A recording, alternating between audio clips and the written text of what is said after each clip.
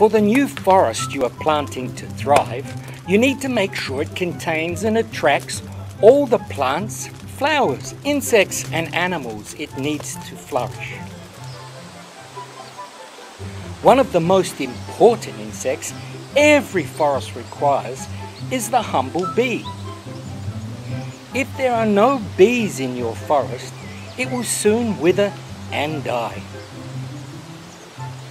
Hard-working bees are needed to pollinate the flowers on your trees.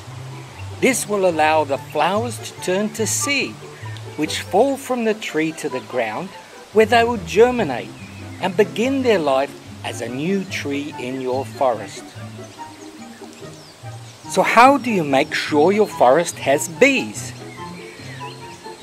When you plant the seedlings of your forest on your piece of land, it is important that you also plant some flowering plants and shrubs nearby, which will attract the bees to your forest.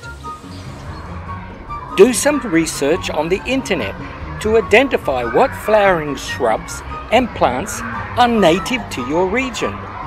Then purchase some of their seeds and add them to your tree nursery.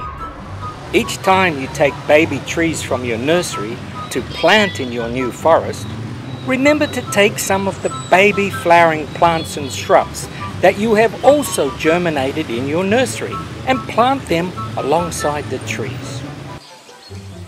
You should see in no time that your new forest floor is covered with beautiful flowers and full of hard-working bees and other insects which are essential for your forest to thrive and expand.